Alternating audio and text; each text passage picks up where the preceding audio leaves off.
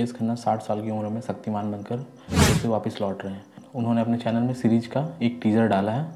आज इसी वीडियो में हम डिस्कस करेंगे और रिएक्ट करेंगे कि क्या इस उम्र में जब उनके एक पाँव कब्र में लटक रही है, वो शक्तिमान का किरदार निभा पाएँगे या नहीं।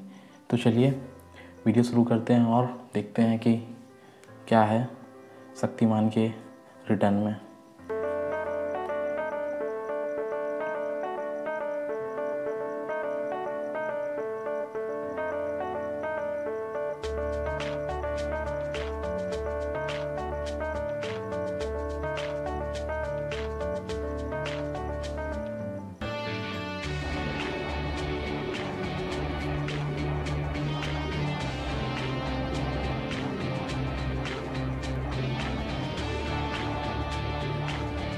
ऐसा लग रहा है किसी ने किसी ने पावर पॉइंट में ये वीडियो बना दिया है।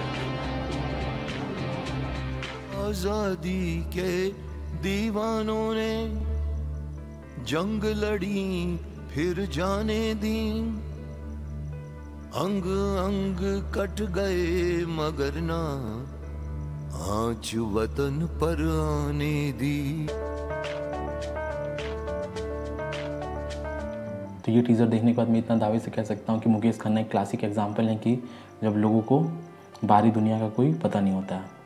हम्म, और सच में ये टीज़र देखने के बाद इतना तो पता चल रहा है कि मुकेश खन्ना को सच में नहीं पता कि बाहर में चल क्या रहा है। आजकल की ऑडियंस इतनी मैच्योर हो गई कि सस्ते पावर पॉइंट में बने वीएफएक्स को देखने का जगह वो आराम से अपने घर पर सोना पसंद करेगी।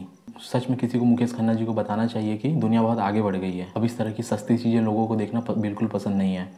बात रही मुकेश खन्ना जी की तो उनकी जितनी उम्र हो गई है, अगर बाई चांस कोई एक्शन करते हुए इधर उधर की हड्डी खिसक गई तो उन्हें दुनिया बचाने के बजाय खुद को बचाना पड़ जाएगा।